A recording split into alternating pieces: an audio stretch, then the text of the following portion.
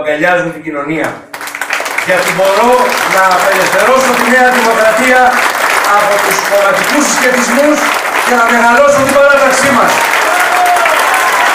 Γιατί μπορώ να αφήσω δυνάμεις, να ενώσω κάτω από τον κοινό σκοπό. Το έχω κάνει άλλωστε. Και μαζί μπορούμε να το κάνουμε για όλα.